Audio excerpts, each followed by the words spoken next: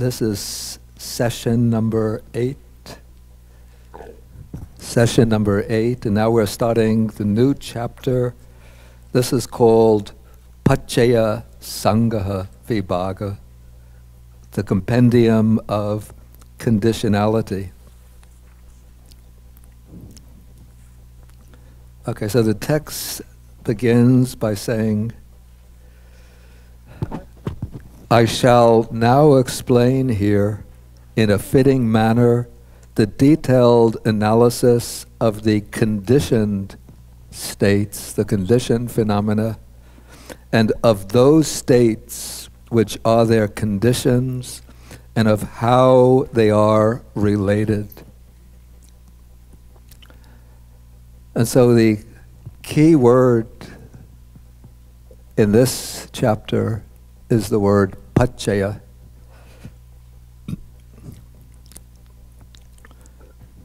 Which is what we translate as condition.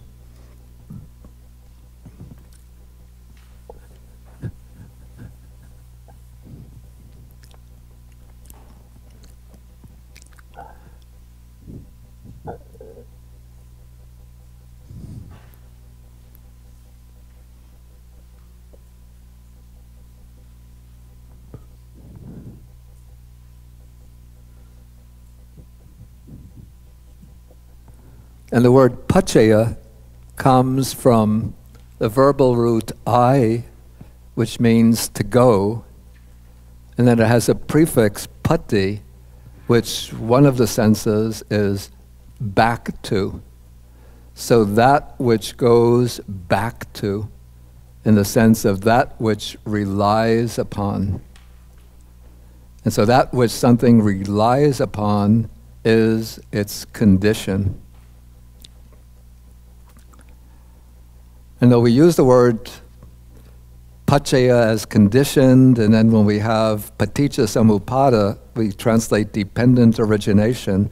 So you don't see from those renderings, you don't see very clearly that the word paccaya and the word paticca are actually derived from the same, have the same origin from pati plus the verb I. So we could say that maybe if we use paccaya for condition, so we might render paticca samuppada conditioned origination. And in understanding conditionality, there are two things to be understood, actually, three things to be understood. One is the condition itself, that which functions as a condition for something else. And the second is the second is that which arises through conditions. Technically, this is called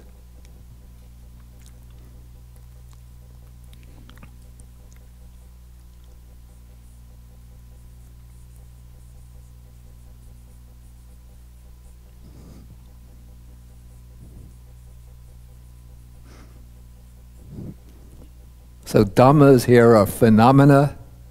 Uppanna means arisen, and paccaya is conditions. So that which, those things that have arisen through conditions.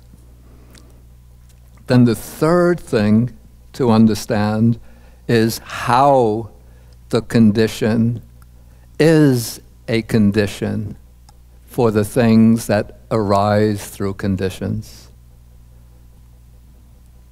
because many things can be conditions for one particular phenomena, but they are conditions in different ways.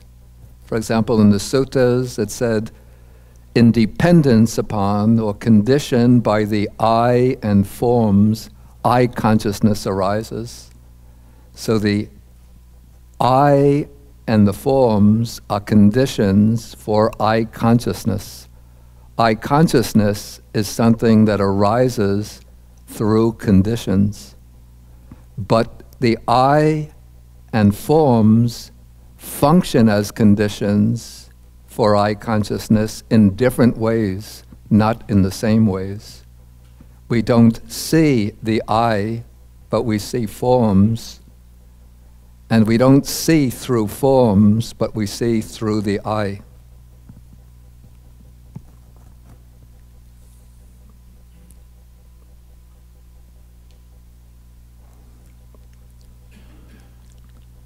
And a condition supports the condition phenomena in either of two ways, or in some cases, in both ways. That is, a condition supports the arisen entity in causing its arising or promoting its arising. And the second way is in sustaining that which has already arisen.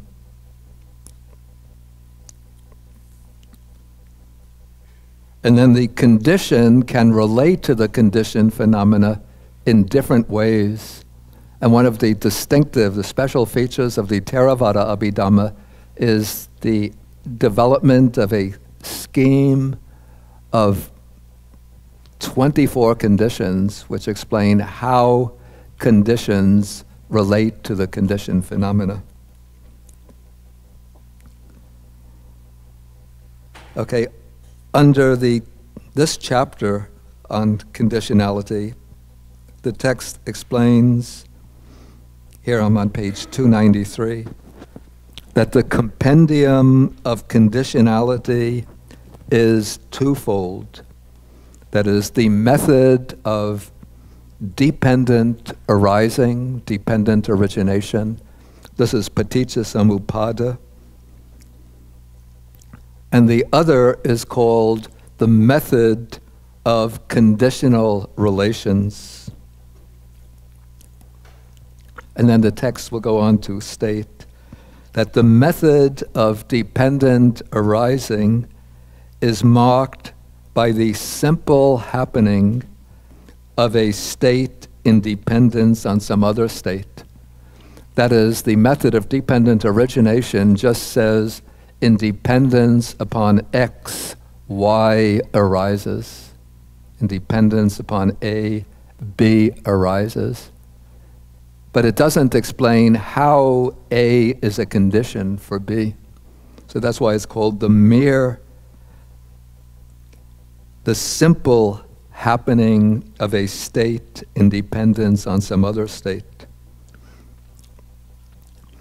Okay, the second division of conditionality, the method of conditional relations, this explains, well, this is discussed with reference to the specific causal efficacy of the conditions. That is, it elaborates all the different ways in which the condition serves as a condition for the dependent phenomena.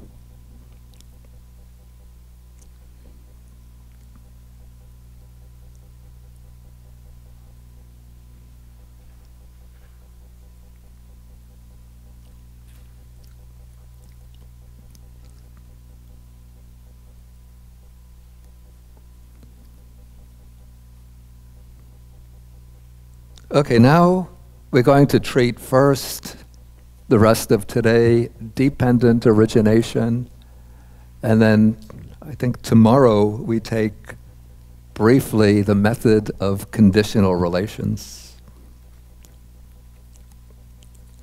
Okay, so we have first the expression dependent origination, which is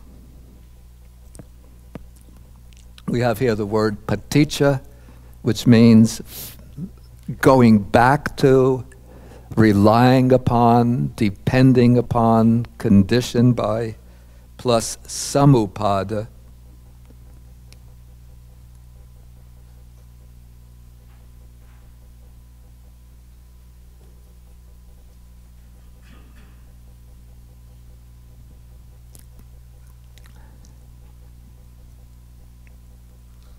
And the word samuppada suggests, I call it the idea of, or I translated it as origination, but it suggests the idea of, I call it a complex arising. there's been a common translation or way of explaining dependent origination as interdependent arising. Strictly speaking, not correct. Because samuppada doesn't mean that everything is interdependent. In some relation of some factors, there's interdependence, but in relation to other factors, the conditioning relationship doesn't go both ways. Like birth is a condition for old age and death, but old age and death is not a condition for birth.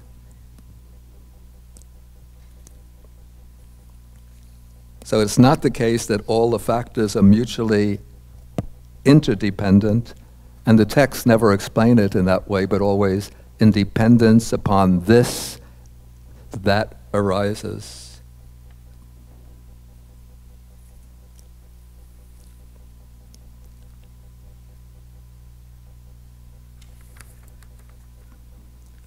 Okay, then underlying dependent, the formula of dependent origination, there is a, what I call the abstract principle of conditionality. We find this stated well, a number of times in the suttas. Imasmin sati idang hoti, imas upada idang uppajjati. Imasmin sati, when this exists, that comes to be. With the arising of this, that arises. So that's the maybe we can call this the structural principle of dependent origination, the arising of one thing in dependence upon another. And so, this principle of conditionality can be applied in many different ways, but the Buddha in the suttas applies it. The principal application is to a 12 fold formula or a series of 12 terms because the Buddha's teaching has the practical aim of liberation from the cycle of birth and death. And so, what the Buddha aims to do with dependent origination is to show what is the chain of conditions, the network of conditions that are responsible for bringing about birth and death and for sustaining the cycle of birth and death. And he does this in order that one can trace the sequence of conditions back in order to remove the fundamental underlying roots of the cycle of birth and death.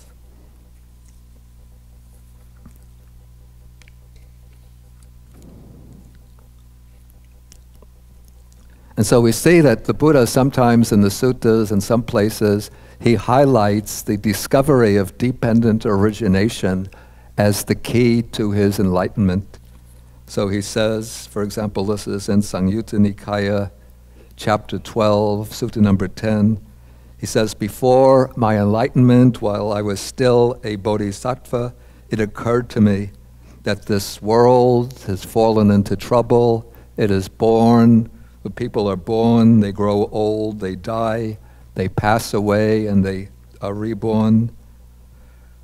How will an escape be discovered from this suffering of old age and death? And then he proceeds, what he uses the structural formula when what exists does old age and death exist? Through the arising of what does old age and death arise. And then through, he says, through yoniso manasikara, through wise attention or careful attention, he discovered when there is birth, there is old age and death. Through the arising of birth, old age and death occur.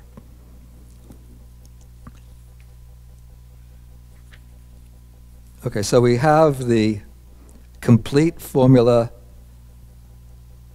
on page in the compendium, the manual, pages 294, 295.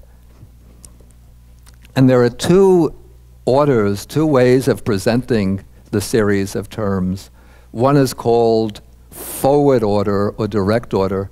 This begins with ignorance and then tr- traces the series down to its culmination in old age and old age and death, sorrow, lamentation, pain, grief, and despair. The other way of proceeding is called the reverse presentation or reverse order. Here one begins with old age and death and traces the series backwards. And in the Buddha's account of his enlightenment, when he gives it in the suttas, he begins at the end and then traces backward. And I find this a more convenient way to explore the series. So let us start with the series, taking the here I take the definition of terms from the suttas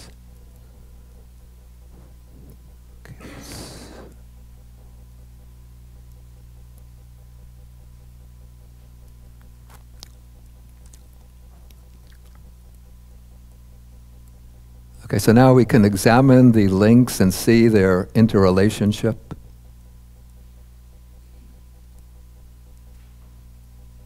Okay, so we'll start with aging or old age and death. Okay, so the, the text raises the question what is old age and death? Then it says it's the aging of the various beings and the various orders or realms of, of, of beings. They're growing old, the breaking of the teeth, the grayness of the hair, wrinkling of skin, the decline of vitality, the degeneration of the faculties. This is called aging, old age. And then Death is the passing away of the various beings from the different orders of beings, their perishing, breakup, disappearance, mortality, death, the completion of time, the breakup of the aggregates, the laying down of the carcass. This is called death. So, joining these two together, they are called aging and death. And then birth so old age and death occur in dependence upon birth. And so, what is birth? The birth of the various beings into the various orders of beings. They're being born, their descent, and usually that means gubbas of a kanti, the descent into the womb, the production, the manifestation of the five aggregates, the obtaining of the six sense bases. This is called birth. And so you could see that these terms are described in very clear, explicit, we'll call them biological terms. There's been a tendency amongst those who sort of are skeptical of the idea of rebirth to say, ah, what's meant by old age and death, this is just a metaphor for the passing away of states of mind. And what is meant by birth is the arising of states of mind. But you know, when the Buddha speaks metaphorically, he makes the metaphor, usually makes the metaphor explicit. And when he wants to be straightforward, he'll just state the teaching straightforward. And here we have very straightforward, clear, explicit definitions of these terms you know, using you know, everyday experience. It's not a state of mind that gets gray hair and broken teeth and wrinkled skin, but it's the body.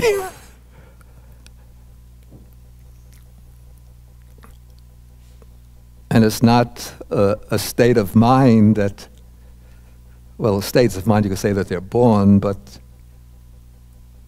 uh, these words, anyway, are usually quite definite biological terms. Okay, then we have the next term is existence. So in the formula, with existence as condition, there is birth. So this is, you know, when you see this initially, it's completely bewildering, no? How could exist, existence be a condition for birth? Does that mean that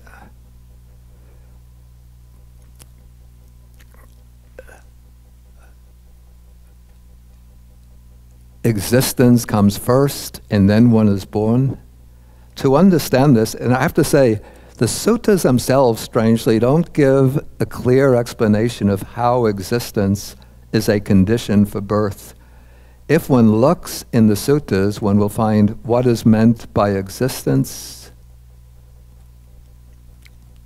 It says simply, there are these three kinds of existence sense sphere existence, material sphere existence, immaterial sphere existence. This is called existence. So that's all the suttas say about existence. But there's a canonical Abhidhamma text which is called the Vibhanga, and it gives an explanation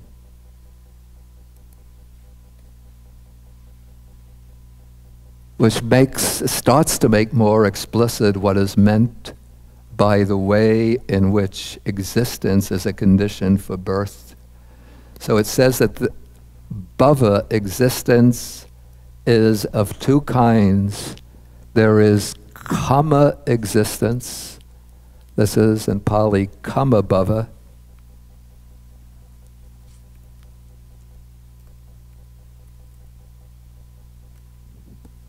And there is rebirth existence or re-arising existence.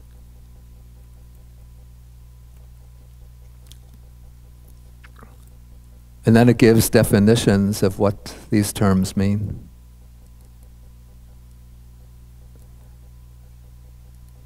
Okay, what is kamma existence? So it explains it with regard to different types of volitional activities or sankharas. Here it's sort of drawing these terms from the suttas. There is meritorious volitional formations. That is when one does good, wholesome deeds, um, practicing generosity, observing precepts, developing the mind in meditation. There is demeritorious volitional formations. Those are the karmas that are created when one engages in any, any kind of unwholesome activities. And then there is what is called imperturbable volitional formations. This is said to be the volitions that are generated when one attains the formless, the immaterial absorptions, where the mind becomes extremely tranquil and peaceful and imperturbable. And then more broadly, it says, all karma leading to existence is also karma existence. Okay, and then it explains rebirth existence to be sense sphere existence, material sphere existence, and immaterial sphere existence. So this is called rebirth existence. So when we take this distinction in types of existence, we could say that it is kamma existence that leads to rebirth existence. And rebirth existence is what is meant by birth.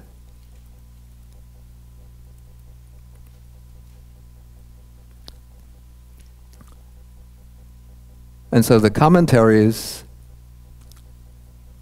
when they explain what is meant by existence, they put emphasis on the meaning of kamma existence. So, kamma existence means that one is creating karma that leads to any of the three realms of existence. And to see this more schematically, I made up a little file here. Okay, so within the sense sphere, we have a distinction between the bad destinations, which are the three bad destinations the hell realms, the realm of the afflicted spirits, and the animal realm, and the good destinations, which are the human realm and the six sense sphere heavenly realms. And so the, it's the unwholesome karma or the volitions that are involved in the 10 types of unwholesome deeds or any of the unwholesome chittas that create the karma that leads to the bad destinations, especially of the unwholesome chittas, those rooted in greed or in hatred that will lead to the bad destinations. And it's the wholesome karma, which is the volitions of the 10 courses of wholesome karma or of giving, moral conduct, and the lower stages of meditation that lead to rebirth into the good destinations of the sense sphere, the human realm or the heavenly realms. Or we could say that it is the sense sphere wholesome chittas that lead to rebirth into the good destinations of the sense sphere.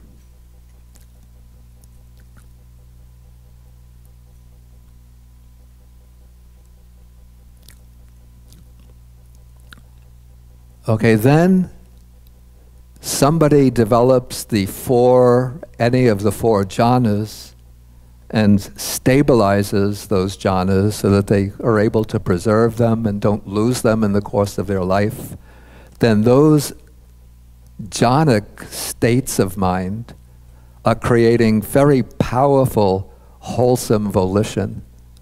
Those are powerful chittas. The jhana experiences types of chittas which are creating very powerful wholesome karma, which are called the fine material sphere wholesome karma or wholesome volitions. And that wholesome karma, when it is maintained through the course of a life, then it leads to rebirth into the form realm or the fine material realm. It was called the Brahma world. Okay, then if somebody develops, goes beyond the, the jhanas, the form jhanas, and develops the immaterial sphere jhanas, or the formless meditative attainments, that is creating even a subtler type of wholesome karma, which is the wholesome karma in the four wholesome chittas of the immaterial sphere. So this is the four immaterial sphere wholesome volitions. And that karma will, if those attainments are preserved and stabilized through the course of life, that karma will lead to rebirth, to re-arising in the immaterial realm. Any of the four formless or immaterial planes of existence, the base of the infinity of space, the base of the infinity of consciousness, the base of nothingness, the base of neither perception nor non perception.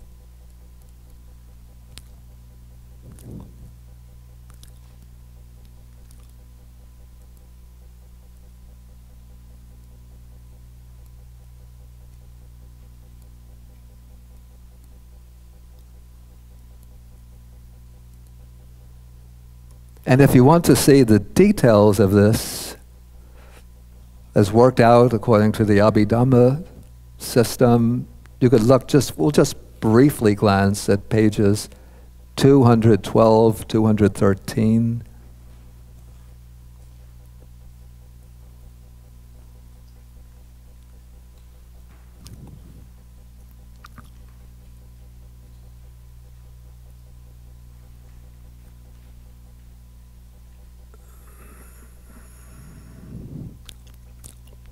So if we start on the left, you could see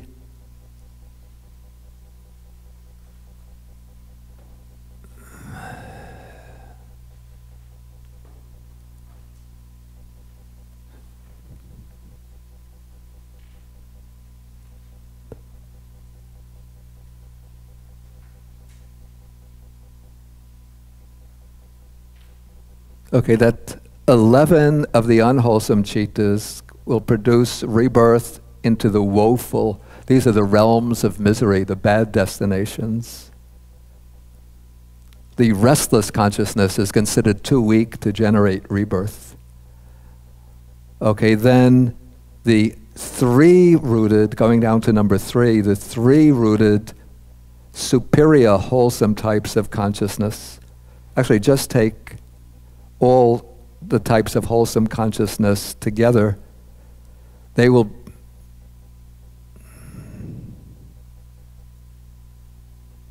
actually this chart gets okay. The wholesome consciousness taking it all together will produce rebirth into the sense sphere blissful or happy realms. That is the realms of human beings and deities we're on the left side, the left page, 212. Then we go over to page 213. We could see that the first jhana, the second jhana, third jhana, fourth jhana, and fifth jhana, this is of the Abhidhamma system, produce rebirth into the different spheres of the form realm. And then when we come to 13, 14, 15, and 16, those are the volitions of the four immaterial meditative attainments. They produce rebirth into the corresponding realm, the realm of infinite space, infinite consciousness, nothingness, and neither perception nor non perception.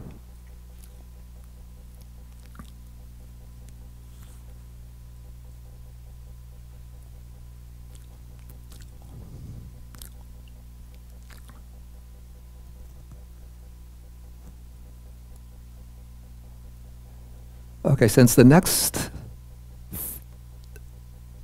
sequence gets a little complicated, I don't want to start it now. So I'll just ask whether there's any questions on what has been covered so far, because we have until 11:20. Okay, Judy and Janice, I see in sequence.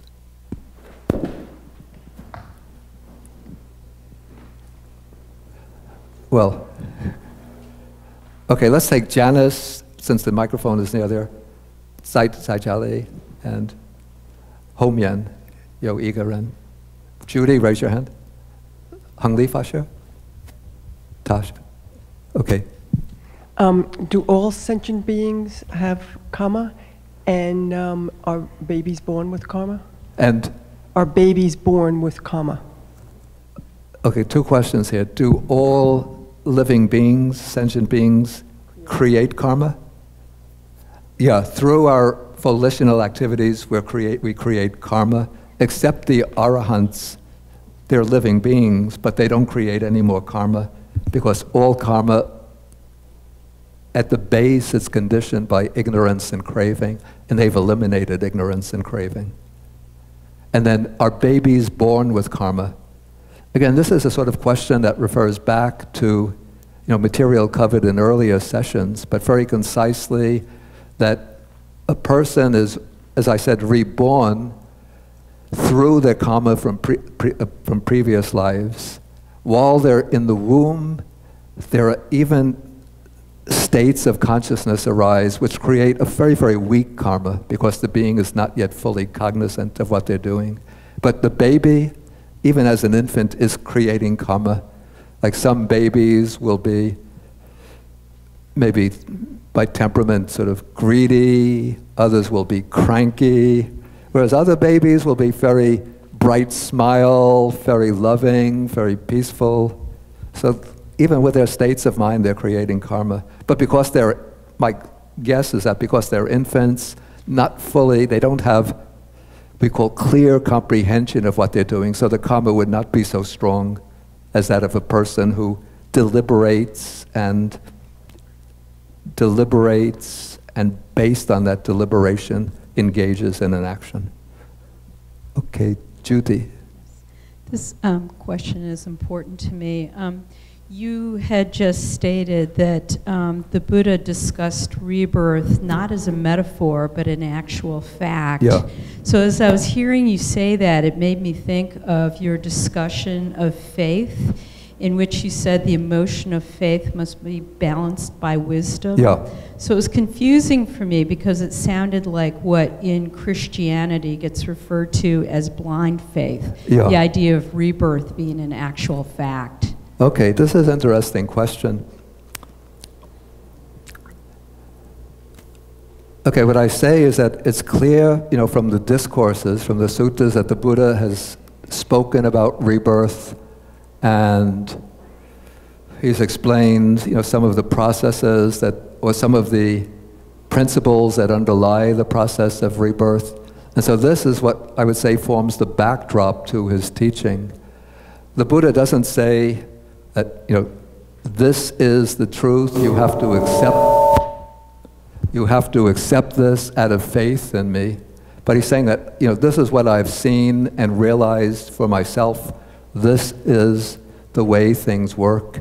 And so, through one's own sort of reflection and investigation, you know, maybe we can't see this for ourselves, but if we accept, you know, the Buddha as an enlightened teacher, then we're ready to accept these things that he's enunciated.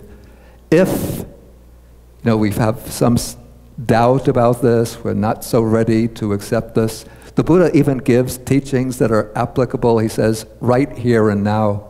The most famous example is the Kalama Sutta, where the Kalamas, are, these were not yet disciples of the Buddha, but people who came to him and they were confused. Different teachers are coming through here teaching different things. And we're full of doubt and perplexity. So the Buddha says, put all ideas, all sort of speculations and theories aside. Just look into yourself. And when greed, hatred, ignorance arise, is that beneficial or harmful? Then they say that's beneficial. And isn't it the case that when there's greed, hatred, and ignorance, that one kills, steals, commits sexual misconduct, speaks falsely? Yes. And so on this basis, one could see, you know, the immediate, what I call the immediate applicability, immediate relevance or applicability of the teaching. So if one wishes to practice on that basis, one can. Um, and perhaps as one sees the benefit, then we'll come to the conclusion, well, the one who taught this practice and gave this understanding certainly knows what he's talking about.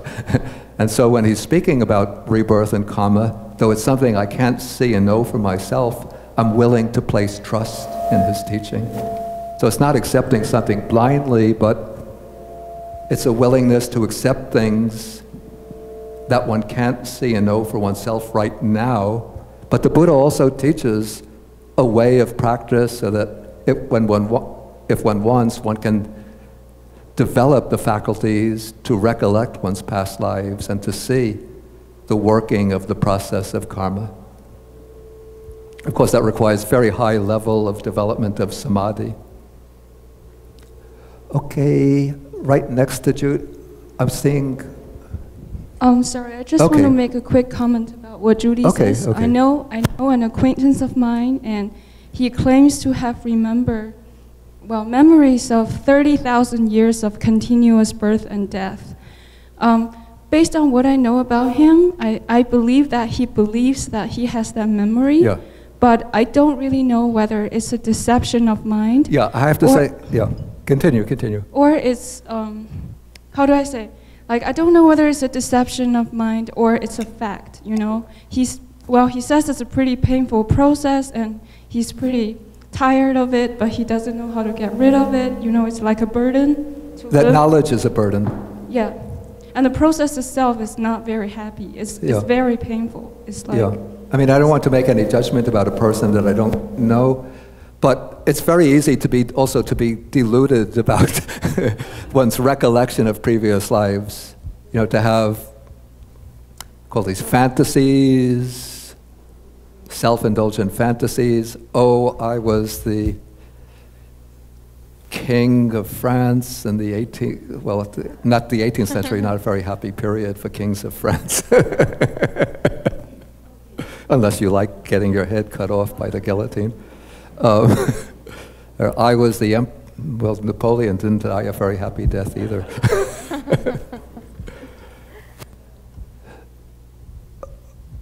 okay, your, your name is Uh, Bhanteji Vinaya. Vinaya. Vinaya. Vina. Vinaya. Vinaya. Yeah. Oh, like the discipline. Oh, excellent. Yeah. I have to be a little careful around people named Vinaya.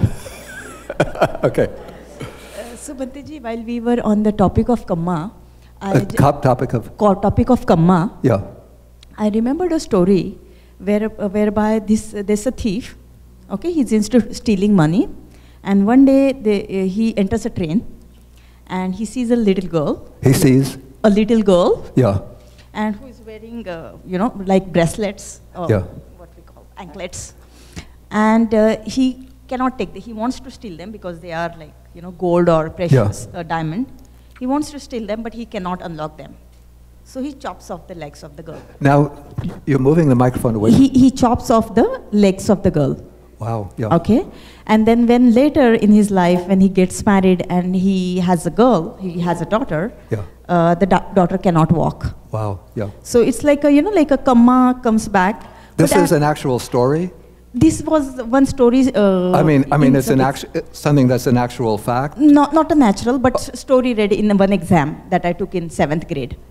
Oh, I see. So it's a fictional story. Yes, it's a Okay. fictional story. Okay. Uh, now, what I'm trying to understand, consider that this is a kamma, and this was such a strong kamma that it came back in the same life. Yeah.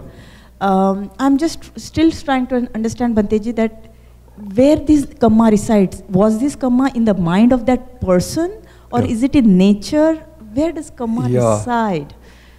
I have to say, from the story, this sounds a bit strange to me because the thief cuts off the f- feet of the girl. Yeah. Now, the baby who's born unable to walk, that would have to be the result of her own karma, because we each inherit the results of our own karma. So that can't be the result of the thief's own karma. He'll get his karmic result. But the intricate, the workings of karma, it's said to be so intricate that it's declared, the Buddha declares it to be one of the four imponderable topics.